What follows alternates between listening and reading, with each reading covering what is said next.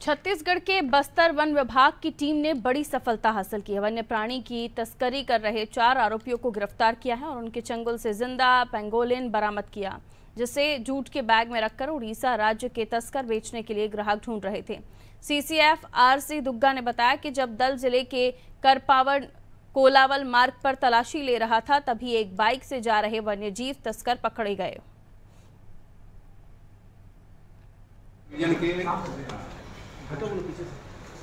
करपाउंड area में उड़ीसा से बस्तर तस्करी करते हुए एक जीवित पेंगोलिन और दो मोटरसाइकिल सहित चार आरोपियों को पकड़ा गया है और उसके बाद में